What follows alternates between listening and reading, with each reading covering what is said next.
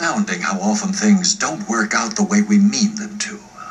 Back in 1913, one Anthony Comstock, secretary of the New York Society for the Suppression of Vice, received a series of urgent phone calls. A picture described as tasteless and lewd was on display in an art gallery window. It was September Morn, painted by Paul Chabas, a charming depiction of natural innocence. Comstock, however, was outraged and ordered it taken down. The gallery owners refused. The newspapers quickly picked up the story and ran it with great relish.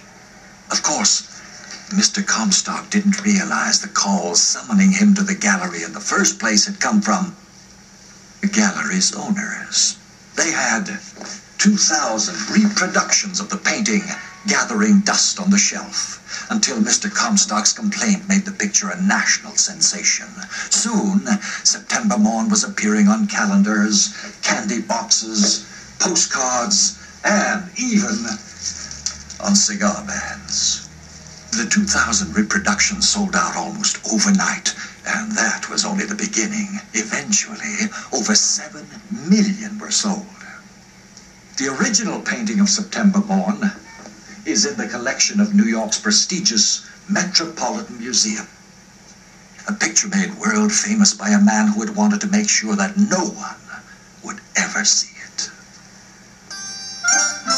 Believe it or not.